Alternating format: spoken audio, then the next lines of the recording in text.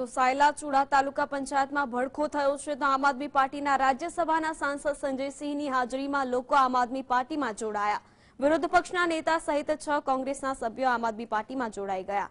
તો સાયલા તાલુકા પંચાયતના પૂર્વ પ્રમુખ ગોપાલ મકવાણા તેમજ લીમડી એકસઠ વિધાનસભાના બાર ગામના સરપંચો પણ આમ આદમી પાર્ટીમાં જોડાયા છે. એકસઠ લીમડી વિધાનસભામાંથી કોંગ્રેસ પક્ષમાંથી મયુર સાકરિયાએ પણ ટિકિટની માંગણી કરી હતી.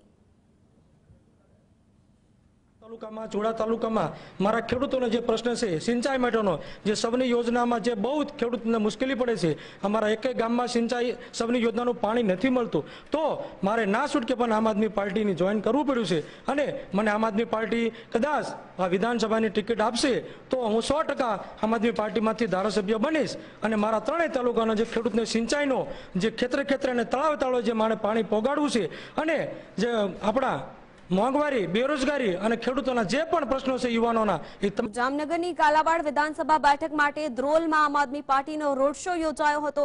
ધ્રોલના ત્રિકોણ બાગથી અરવિંદ કેજરીવાલ રોડ શોની શરૂઆત કરી હતી. રોડ શો દરમિયાન કાલાવાડ વિધાનસભા બેઠકના ઉમેદવારને પણ સાથે રાખવામાં આવ્યા હતા.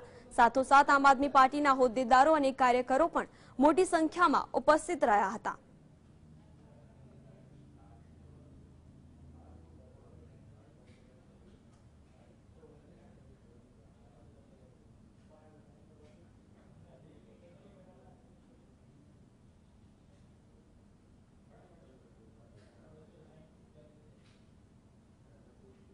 તો પંજાબના મુખ્યપ્રધાન ભગવંત માને છોટાઉદેપુરમાં રોડ શો યોજ્યો, જેમાં મોટી સંખ્યામાં કાર્યકર્તાઓને સંબોધતા ભાજપ કોંગ્રેસ ઉપર ભગવંત માને પ્રહારો કર્યા.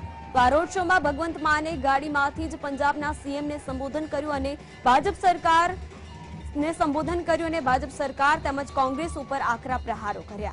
ભાજપના ડબલ એન્જિન સામે કેજરીવાલને નવું એન્જિન ગણાવી જૂના ડબલ એન્જિન કરતા નવો લેટેસ્ટ ટેકનોલોજીનું એક જ એન- એન્જિન કાફી હોવાની પણ વાત તેમણે કરી હતી.